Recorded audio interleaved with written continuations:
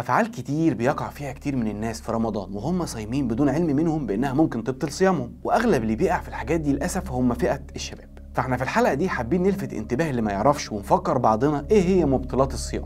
أهلا بكم في برنامج السيستم ودي حلقات خاصة لشهر رمضان مبارك أنا أحمد حسنين وقبل ما نبدأ يا ريت تعمل like و share و subscribe و follow على انستجرام ويلا بينا نبدأ الحلقة.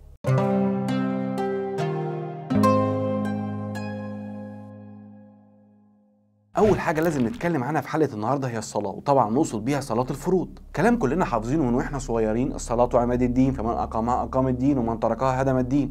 وإحنا مش حابين نتكلم في الحلقة دي عن أفضال الصلاة ومدى أهميتها والكلام ده كله لأن هيكون ليه حلقة خاصة منفصلة بإذن الله. لكن الكلام هنا هيكون مع الصلاة والصيام مع بعض تحديدا في رمضان. الكلام الصريح كده بكل وضوح وبدون لف ودوران يا صديقي فالصيام لا يقبل بدون صلاة. حتى لو أنت صايم بكل جوارحك وبكل حاجة فيك وممتنع عن كل حاجة بتفطر سواء معنوية أو مادية. واسمع انت كده كلام الشيخ الشعراوي كان بيقول إيه لما اتسال عن الصيام بدون صلاة.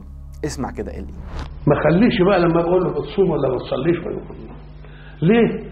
لأن الصلاة هي الركن الوحيد الذي لا يسقط عن الإنسان أبدا. ده غير إن الإمام ابن باز رحمه الله قال إن الصيام بدون صلاة لا يقبل لأن ترك الصلاة كفر والكافر لا يقبل منه أي أعمال تانية صالحة وأعماله بتحبط فلو انت مش مهتم بالصلاة على الأقل ابدأ اهتم بيها في رمضان. يمكن تكون دي بدايتك إنك تحافظ عليها بإذن الله. وبعد كده ننتقل لتاني حاجة بتبطل الصيام ومش هنطول فيها لأن كلنا تقريبا عارفينها وهي الأكل والشرب طبعا. وطبعا أقصد أي حاجة هتحطها في بقك وتاكلها أو تشربها ويوصل لحلقك ولو جزء بسيط منها. فخلاص كده يا باشا صيامك فسد وبقى من الواجب عليك إخراج مكفرات الصيام وتصوم يوم تاني مكانه. وتتوب وتستغفر ربنا لأن إفطار يوم في رمضان بدون عذر وعن قصد كبيره من كبائر ومن الواجب الاستتابة عنه. فخد بالك يا صديقي وما تستقلش بالإفطار عن عمد في نهار رمضان مهما كانت الظروف ومهما كانت الأسباب.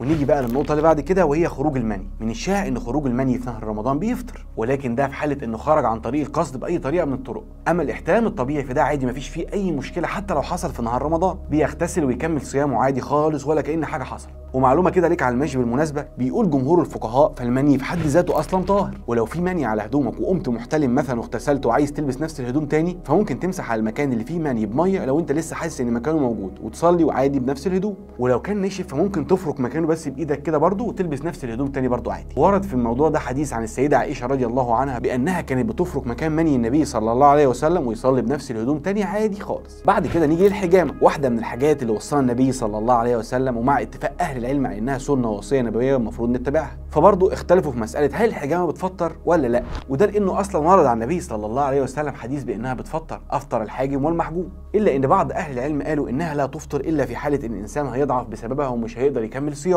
والأولى إن يستنى لحد ما يفطر ويعملها من بعد الفطار. ومن المذاهب اللي حرمت الحجامة في نهار رمضان هو مذهب الإمام مالك بن أنس ومذهب الإمام أحمد بن حنبل. وده في حالة إنها كانت هتسبب الضعف للصائم وهتخليه يفطر بسببها. أو هتشكل عليه أي نوع من أنواع الخطر ممكن يحصل له بسبب اجتماعهم هي والصيام عليه في وقت واحد. فمن الآخر كده يفضل إنك ما تحتجمش في نهار رمضان وعلشان تفطر ولا تتعب. ونيجي بقى للجزء اللي بعد كده واللي خاص بالنساء بشكل خاص وهو مسألة الحيض.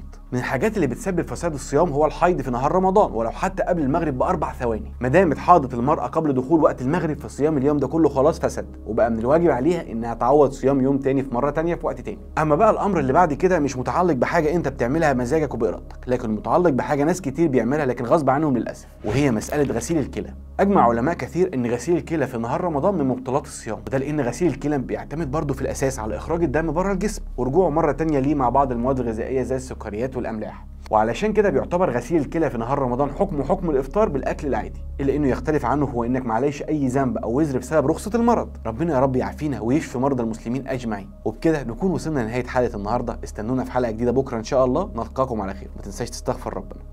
سلام.